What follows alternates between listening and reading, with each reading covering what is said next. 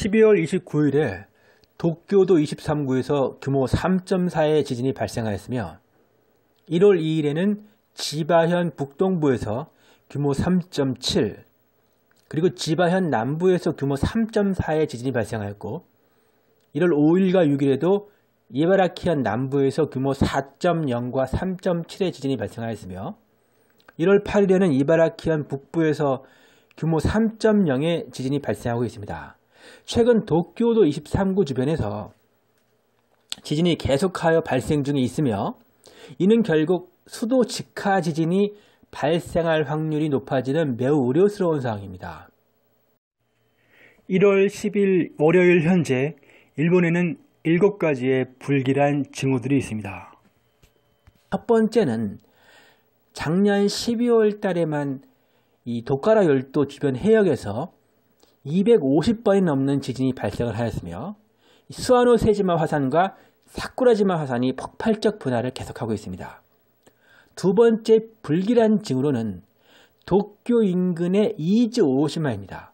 35년 전에 이곳에서 1만 명에게 섬, 섬 전체 대피 명령이 내려진 화산섬이며 최근 계속 군발 지진이 발생 중에 있습니다. 세 번째 불길한 징후로는 1923년 9월 1일 관동 대지진이 발생하였던 관동 지역에서 작년 2021년 10월 7일 10시 41분 일본 지바현 북서부를 진원으로 하는 최대 진도 5강 규모 6.1의 강진이 발생하였습니다. 수도 직하 지진이었습니다. 이 지진은 수도 도쿄에 발생을 했고 수도인 도쿄에 진도 5가 넘는 지진은 2011년 3월 11일 동일본 대지진 이후에 처음 있는 일입니다. 네 번째 불길한 징후는 최근 연속 발생 중인 남태평양 바누아투와 통가, 피지, 뉴질랜드 등의 신발 강진들입니다. 바누아투와 뉴질랜드 법칙에 의하여 동북지방 특히 미야기현에서 강진 발생 가능성이 높습니다.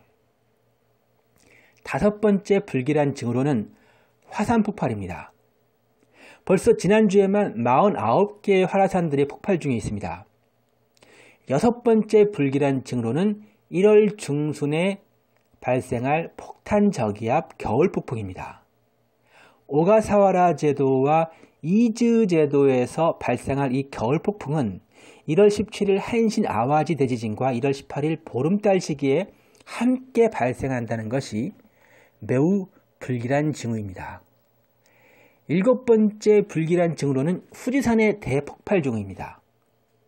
2021년 작년 12월 3일 야마나시현 동부 후지곡고 후지산 근처에 5개의 호수를 진원으로 하는 규모 4.1과 3.6 그리고 4.9의 3번의 지진이 연속하여 발생하였으며 12월 18일 오전 9시 17분에도 야마나시현 동부 후지곡고에서 규모 3.4의 지진이 발생하였습니다.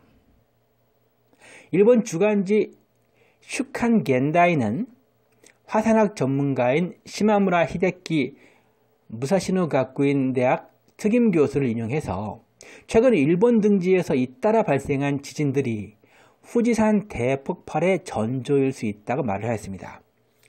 시마무라 교수는 12월 3일에 야마나시현 동부 후지곡고 후지산 근처에 5개의 호수를 진원으로 하는 규모 4.1과 3.6 그리고 4.9의 3번의 지진이 연속하여 발생한 것에 대하여 이것이 후지산 마그마의 유동에 따라 일어난 지진이라면서 그렇다면 화산 폭발이 가까워져 있다고 생각할 수 있다고 주장했습니다.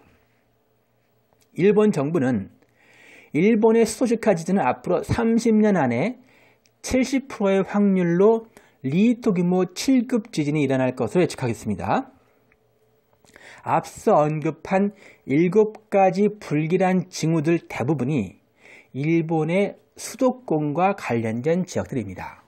이즈 오시마는 도쿄에서 약 120km 떨어진 곳으로 수도 직하 지진과 무관하지 않고 1986년 11월 15일에는 이즈 오오시마 미하라산이 분화한 적도 있었습니다.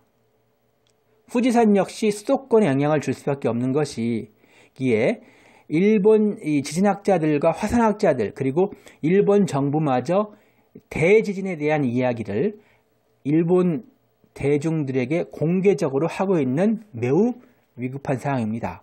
12월 3일 새벽 후지산 근처에서 일어난 최대 진도 5약의 지진은 분화에 대한 우려를 증폭시켰으며 만약 분화했다면 관동지방 전역에 영향을 어, 주었을 것이고 교통망 차단, 전파 장애, 정전 등 수도 기능을 마비시켰을 것입니다. 시청해 주셔서 진심으로 감사드리겠습니다. 구독과 좋아요, 알람 설정을 꼭 부탁드리겠습니다. 이 채널을 운영하는데 큰 힘이 됩니다. 감사드립니다.